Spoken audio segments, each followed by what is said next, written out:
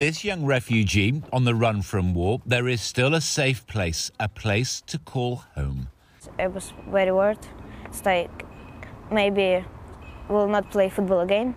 I will stop football and not play again. But I come here and I really want to play football.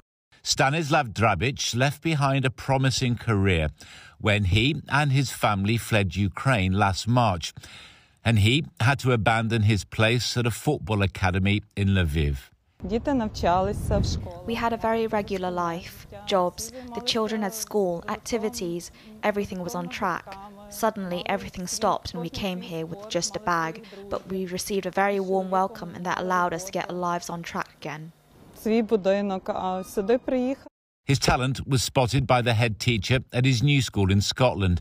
A trial at Premiership Dundee United followed, and now he's won a place in their youth setup. We'll give him every opportunity to develop, to integrate to the culture, and we hope, like every player that comes through our academy, there's a potential Dundee United first team player there. As for Stanislav, the war has not destroyed his ambition. My dream just now is that I will help for Dundee United, and I will play versus Barcelona. We will beat Barcelona, and I will come to Barcelona. One of his toughest challenges has been to learn English, but in the universal language of football, his skills require no translation. John Ray, ITV News.